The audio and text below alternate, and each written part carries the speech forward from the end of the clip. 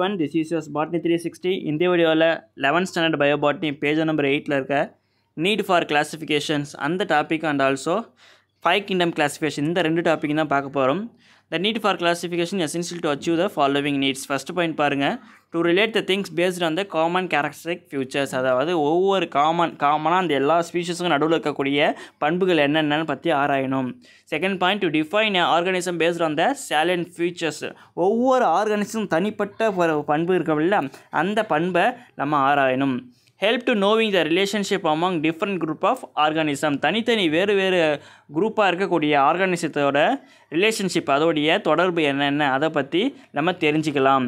It help understanding evolutionary relationship between organisms இந்த ஒவ்வொரு ஸ்பீஷஸோட பரிணாம வளர்ச்சி அதோடைய தொடர்புகள் என்னென்ன அப்படின்ட்டு ஆராயலாம். இந்த கிளாசிஃபிகேஷன் மூலியமாக நம்ம தெரிஞ்சுக்கலாம்னு சொல்கிறாங்க next classification of living world நம்ம வாழக்கூடிய லிவிங் வேர்ல்டை சில சயின்டிஸ்ட் வந்து கிளாஸிஃபை பண்ணியிருக்காங்க. அதை கம்பேரிசன் பண்ணி கொடுத்துருக்காங்க. நமக்கு டேபிள் ஒன் பாயிண்ட் ஃபோரில் கொடுத்துருக்காங்க பாருங்கள் இந்த ஃபோர் சயின்டிஸ்ட்டு தான் அந்த ஃபைவ் கிங்டம் வந்து கிளாஸிஃபை பண்ணியிருக்காங்க. ஃபஸ்ட்டு பாருங்கள் two kingdom classification Carolus Linnaeus அதாவது நைன் செவன்டீன் தேர்ட்டி ஃபைவ்ல கரோலோஸ் லினேயஸ்ன்றவர் பிளான்ட் அண்ட் அனிமலியா அதாவது இந்த வேர்ல்டு டூவாக பிரிச்சுக்காரு.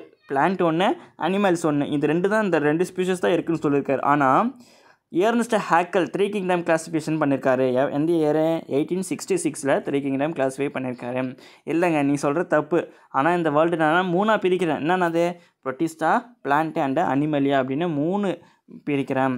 Next four kingdom classification Copeland nineteen fifty சிக்ஸில் டிஸ்கவர் பண்ணார்.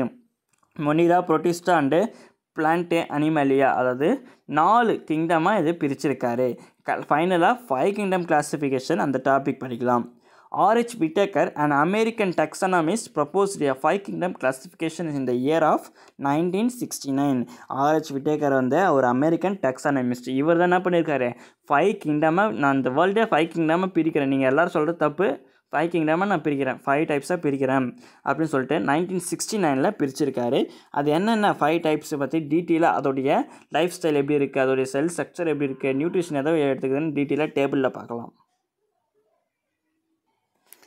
இந்த டேபிளில் கொடுத்துருக்காங்க பாருங்கள் ஃபைவ் கிங்டம் கிளாஸிஃபிகேஷன் போட்டு criteria Monera Protista fungi plant and Animalia இந்த ஃபைவ் கிங்டம்ஸை பற்றி அதோட செல் டைப்ஸ் எப்படி இருக்குது level of organization cell wall nutrition motility மொட்டாலிட்டினா நகரும் தன்மை இருக்கா இல்லை நகரா தன்மை இருக்கா?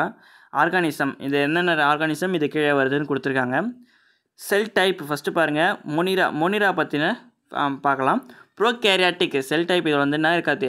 நியூக்ளியஸ் இருக்காது. அதுக்கு பதிலாக என்ன இருக்கும்? நியூக்ளாய்டு இருக்கும். மீதி இருக்கக்கூடிய எல்லா ஆர்கானிசமே எப்படி யூகேராட்டிக் செல்ஸாக இருக்குது லெவல் ஆஃப் ஆர்கனைசேஷன் பாருங்கள் mostly unicellular rarely multi cellular Monera வந்து மோஸ்ட்லி எல்லாம் எப்பயுமே என்ன இருக்கும்? யூனிசெல்ஸாக தான் இருக்கும். ரேராக தான் என்ன இருக்கும்? மல்டி செல்லுலார்ஸ் இருக்கும். Protista unicellular and fungi fungi வந்துனா என்ன இருக்குது மல்டி செல்லுலார் ஃபங்கஸ் வந்து மல்டி செல்லுலாகவும் இருக்குது யூனிசெல்ஸாகவும் இருக்குது பிளான்ட்டே பாருங்கள் tissues and organ Animalia tissue organ and organ system இப்போ நமக்கு இருக்கு இல்லையா? ஆர்கன்ஸ் இருக்குது ஆர்கன் சிஸ்டமும் இருக்குது நெக்ஸ்ட்டு செல்வால் பாருங்கள் செல்வால் ப்ரெசண்ட் மொனிராவில் செல்வால் இருக்குது ப்ரொட்டிஸ்டாவில் செல்வால் ப்ரெசண்ட்டு ஆர் ஆப்சண்ட்டாகவும் இருக்கலாம். ஃபங்கையில் வந்து செல்வால் ப்ரெசண்ட்டு பிளான்ட்லேயும் ப்ரெசென்ட் அண்ட் அனிமலியில் வந்து ஆப்சண்ட் ஏன் ஆப்சண்ட்டாக இருக்குன்னா நமக்கு வந்து செல்வால் ப்ரெசண்ட்டாக இருந்தால் நம்ம எப்படி இருப்போம்? ஒரு மரம் மாதிரி இருப்போம். எந்த ஒரு உணர்ச்சியுமே இல்லாமல் ஒரு ட்ரீஸ் மாதிரி அந்த ட்ரீயில் இருக்கக்கூடிய உட்டு மாதிரி இருப்போம். நியூட்ரிஷன் பாருங்கள் மொனிரா வந்து ஆட்ரோட்ரோஃபிக் அண்ட் ஹெட்ரோட்ரோஃபிக் ரெண்டுத்தையும் சார்ந்து இருக்கும். தன்னையும் சார்ந்து இருக்கும் இது பிறரையும் சார்ந்து இருக்கும்.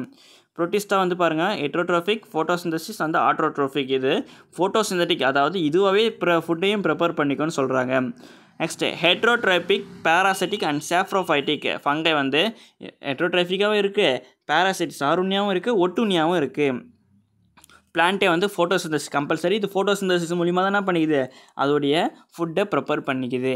அனிமலியை வந்து ஹெட்ரோட்ரோஃபிக்னு சொல்லுவாங்க. ஏன்னா நம்ம எதை சார்ந்து இருக்கோம் பிளான்ஸை சார்ந்து இருக்கோம் இல்லைனா ஏதோ ஒரு லோவர் அனிமல்ஸை சார்ந்து இருக்கும். மொட்டாலிட்டி மொனிராக் ப்ரொட்டிஸ்டா இது ரெண்டுத்துக்குமே என்ன இல்லை மொட்டைல் ஆர் நான் மொட்டைல் ஒரு சில அனிமல்ஸ்னால் இருக்கும் மொட்டைலாக இருக்கும். ஒரு சில ஸ்பீஷஸ் வந்து நான் மொட்டைலாக இருக்கும். ஃபங்கையில் வந்து நான் மொட்டைல் கம்பல்சரி இது என்ன பண்ணாது? நகரவே நகராது. பிளான்ட்டு பிளான்ட்ஸ் என்ன பண்ணாது? நகராது. ஆனால் அனிமல்ஸ் இல்லாமல் நம்மளும் அனிமல்ஸ்லேருந்து தானே வந்திருக்கோம். அப்போ நம்ம என்ன பண்ணுவோம்? நகரம் இல்லையா? அதான் நமக்கு மொட்டைலும் கொடுத்துருக்காங்க. ஆர்கானிசம் பாருங்கள் archae bacteria eu bacteria cyano bacteria actinomycetes அந்த மைக்கோப்ளாஸ்மா இது எல்லாத்துமே எதுக்கான எக்ஸாம்பிளாக கொடுத்துருக்காங்க. மொனிராக்கான எக்ஸாம்பிளாக கொடுத்துருக்காங்க. நெக்ஸ்ட்டு பிளா ப்ரொட்டிஸ்டா ப்ரொட்டிஸ்டா கொடுத்துருக்காங்க? Chrysophytes diagram flagellates euglenoids slime moulds and amoeba இது எக்ஸட்ரா நிறைய கொடுத்துருக்காங்க. கிங்டம் ஈஸ்ட் ப ஃபங்கையில் பாருங்கள் ஈஸ்ட் மஷ்ரூம் அண்டு மோட்ஸ் கொடுத்துருக்காங்க. பிளான்டேல ஆல்கே ப்ரையோஃபைட்ஸ் ரெடோஃபைட் ஜிம்னாஸ்மம் ஆண்டியோஸ்பம் இது எல்லாமே பிளான்ஸுக்கு எக்ஸாம்பிளாக கொடுத்துருக்காங்க. அனிமல்ஸில் பாருங்கள் ஸ்பாஞ்ச் இன்வெர்டிபிரேட்ஸ் அண்ட் வெர்டிபிரேட்ஸ் இன்வெர்டிபிரேட்ஸ்னால் முதுகெலும்பு அற்றவை வெர்டிபிரேட்ஸ்னால் முதுகெலும்பு உள்ளவை.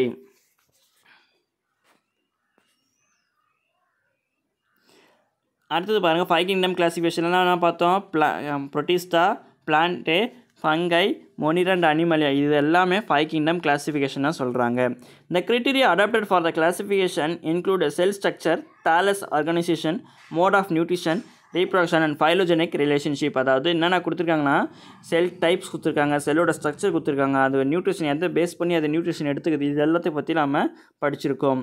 A comparative account salient features of each kingdom அதாவது மெரிட்ஸ் அண்ட் டிமெரிட்ஸ் கொடுத்துருக்காங்க. இது அஞ்சு கிங்டம்ஸ்க்குமே ஃபைவ் கிங்டம் கிளாஸிஃபிகேஷனில் இருக்கக்கூடிய மெரிட்ஸ் நன்மைகள் என்னென்ன? ஃபஸ்ட்டு பாயிண்ட் பாருங்கள் இந்த classification based on the complexity of cell structure and organisation of thallus அதாவது எதை வச்சு நம்ம ஈஸியாக ஐடென்டிஃபை பண்ணிக்கலாம்? அதோடைய உருவமும் சரி அதோடைய செல் ஸ்ட்ரக்சர் அதோடைய ஷேப் வச்சு நம்ம ஐடென்டிஃபிகேஷன் பண்ணிக்கலாம்னு சொல்கிறாங்க it's based on mode of nutrition. எதை பேஸ் பண்ணி கண்டுபிடிச்சிருக்காங்க? Mode of nutrition. நம்ம அதோடைய சாப்பிட்ற உணவு வச்சும் இது பிரிச்சிருக்காங்க. Separations of fungi from the plant பிளான்ஸுக்குமே ஃபங்கைக்குமே நிறைய செப்பரேஷன்ஸ் இருக்குது இட்ஸ் ஃப்ரோ ஃபைலஜனி ஆஃப் த ஆர்கனைசேஷன் இது என்ன பண்ணுது? ஒரு நியூவாக ஒரு ஸ்பீஷஸில் நமக்கு எடுத்து காட்டுது.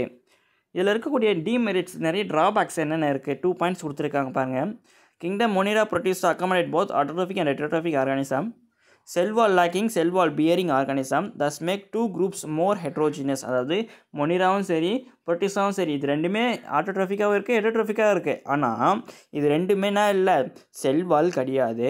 செல் வால் இருந்துச்சுன்னா அது என்ன பண்ணுன்னா டூ குரூப்ஸ் ஹெட்ரோஜினஸாக மாற்றிடும் அடுத்த பாயிண்ட் பாருங்கள் viruses were not include in the system அதாவது வைரஸஸ் வந்து இந்த சிஸ்டம் என்ன பண்ணலை இன்க்ளூட் ஆகலை. அப்படி இன்க்ளூட் ஆயிடுச்சுன்னா இந்த வைரஸும் ஒரு கிங்டமாக இருந்திருக்கும்.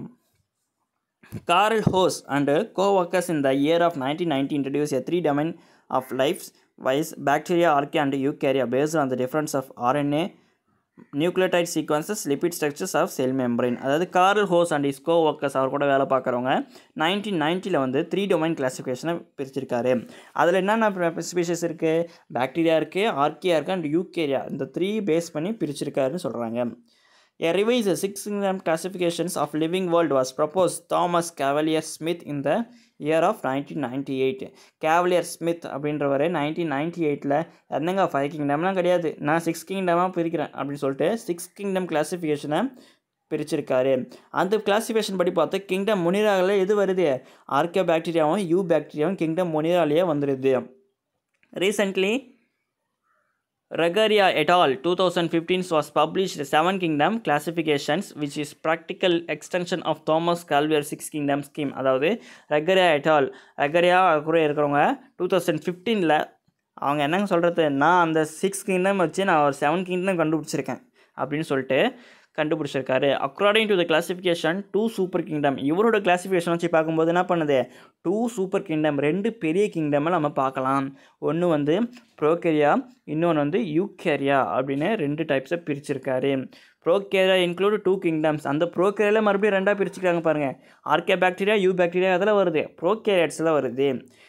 Next eukaryotes includes a protozoan chromista fungi plant and animal எந்த ஃபைவுமே எது கீழே வருது? யூக்கிரஸ் செல்ஸு கீழே வருது. A new kingdom Chromista was erected. It was include all algae whose chloroplast contain a chloroplast A and C. அதாவது இந்த குரோமிஸ்டா இருக்கு இல்லையா? இது வந்து எரக்ட் ஆகிடும் ஒரு சில செல்ஸில் இப்போ எரக்ட் ஆகிடும் அது தடைப்பட்டுரும் அப்படி இருக்கும்போது அதில் இருக்கக்கூடிய ஆல்கே என்ன இருக்கும்? குளோரோபிளாஸ்ட்டை வெளியிடும். அந்த குளோரோபிளாஸ்ட்டில் என்னென்ன பிக்மெண்ட் இருக்குன்னா?